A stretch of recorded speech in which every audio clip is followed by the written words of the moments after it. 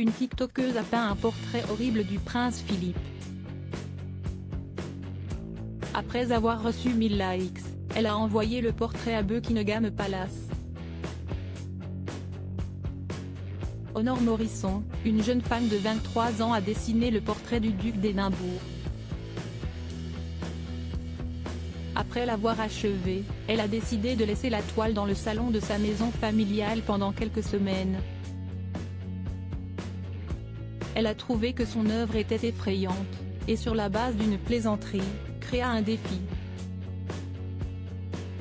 Elle a suggéré que si elle atteignait plus de 1000 likes, elle enverrait le portrait à Buckingham Palace. Contre toute attente, sa vidéo est devenue virale, et elle a obtenu les likes voulus.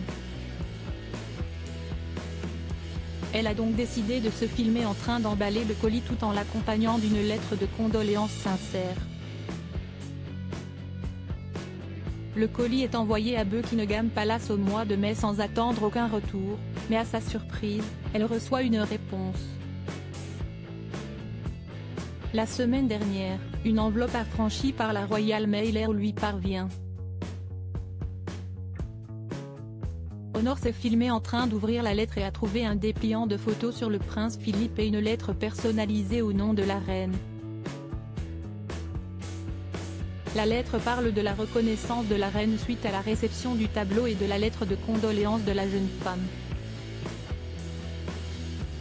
La reine a été profondément touchée par les messages qu'elle a reçus du monde entier. Le prince Philippe est décédé à l'âge de 99 ans et a été enterré le 17 avril dernier. Lors de cette perte de son bien-aimé, la reine Elisabeth a été bien entourée. Cependant, les différents lettres et messages qu'elle a reçus l'ont grandement réconfortée également. La mort du duc d'Édimbourg a également marqué beaucoup de personnes. C'est le cas de Honor qui a déclaré que sa mort a touché une corde sensible chez moi.